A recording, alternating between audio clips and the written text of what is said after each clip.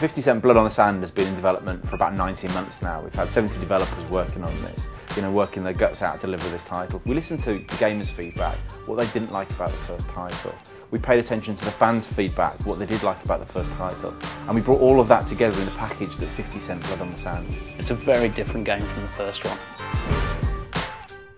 Our story's been written by Cameron Pasha. Cameron Pasha is a producer for Bionic Woman and was one of the writers on Sleeper Cell. We're taking 50 Cent out of the familiar and putting him in the unfamiliar. 50 Cent's gone to this fictional country to perform a concert. He's been promised $10 million in payment. And he gets to the end of the gig and him and the G-Unit crew go to collect payments, but it's not there, the concert promoters stiff them. So they take payment in kind the diamond encrusted skull. On the way back to the airport, their, their convoy's hijacked to the local crime lord, Saeed Kamal, and his henchwoman Layla. And that cues his explosive journey across this country to recover the skull.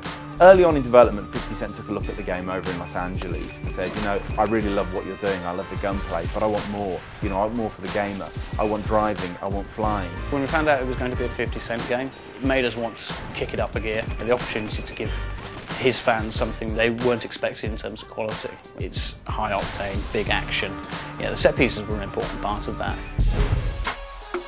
What the gamers can expect when they play this game is an art which takes them on a journey. It takes them from the familiar to something which is much more remote, much more exotic. You kind of recognize that it's had wave after wave of occupiers, a city which is kind of like built up over time. There's a lot of unique levels in 50 Cent Blood on the Sand. So the game contains two distinct locations, one city-based and uh, one based up in the mountains. But we, within each of those, there's a number of sub-locations. Each one of those sort of realised to create an individual mission. The level is all about giving the player opportunities to score and string together, you know, cool kills, explosions, destruction, our explosions and our particle effects and our environmental effects are absolutely cutting edge. We use fire an awful lot, so one of the things that we had to do is write particular technology to handle that fire. Many games have done fire, but we had so much of it in this, we thought we had to push it a little bit further. It's a very dynamic environment. There's a lot of set pieces going off and floors collapsing underneath you. It's really something that players reacting to on a moment-by-moment basis. It's not just a game, it's also a package as well because we actually have the videos and the music in there.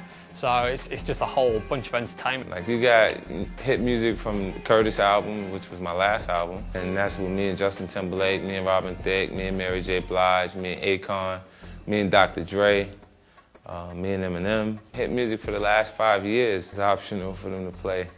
There's 40 tracks on there, and then 19 of them are brand new that they can hear new material. This is a huge amount of content, well over an album's worth of, tracks that you'll have never heard before and can't get anywhere else apart from 50 Cent Blood on the Sand.